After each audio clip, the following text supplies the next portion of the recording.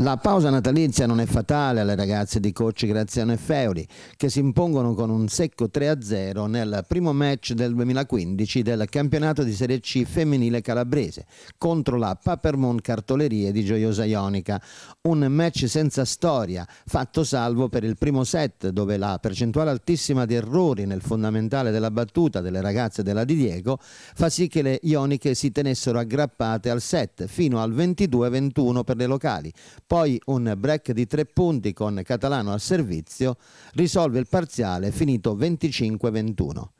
Il resto del match è stato poco più che un allenamento per le castrovillaresi che portano a casa gli altri due set con il punteggio eloquente di 25-18-25-9. Nella Papermoon eh, vende cara la pelle il capitano D'Agostino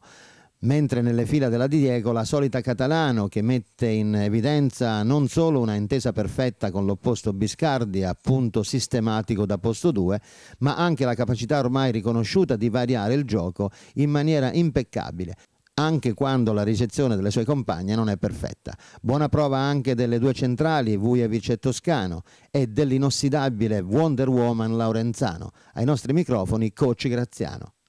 Coach Graziano, un match eh, vinto anche facilmente, i primi due set la squadra ha sbagliato molto, poi eh, la superiorità tecnica era assolutamente visibile, un 3-0 importante e questa squadra è capitata al momento giusto perché normalmente il dopo Capodanno c'è sempre una flessione psicofisica della squadra, invece la tua quest'oggi insomma puoi essere contento. Le vacanze sono vacanze per, tutte, per tutti, quindi non lo so se anche loro hanno subito questo trauma, anche se eh, devo essere sincero, noi durante tutte le vacanze natalizie abbiamo lavorato duramente, però purtroppo come al solito mm, un po' di febbre per qualcuno, un po' di problemi a livello muscolare, insomma purtroppo ancora non abbiamo risolto i nostri problemi fisici che ci perseguitano.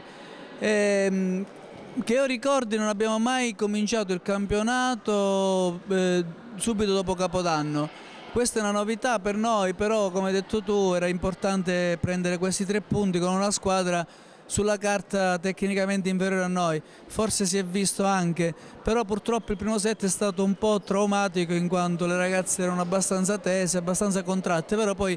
alla fine abbiamo dimostrato di, che la nostra pallavolo è un po' diversa dalla loro, quindi poi alla fine chi è più forte vince. Senti, la eh, Toscano, giovanissima Toscano, ricordiamolo sempre che ha solo 14 anni, molto efficace nei primi tempi per quanto riguarda le azioni d'attacco, però non è riuscita a contenere sulla diagonale gli attacchi della D'Agostino da posto 4 che l'ha infilata più di una volta. È una, un problema proprio della Toscano eh, coprire e mettere le mani in un certo modo eh, da, sul muro, sull'attacco da posto 4 o è imprevedibile? È un problema di chi è troppo giovane, la D'Agostino non lo so, la numero 1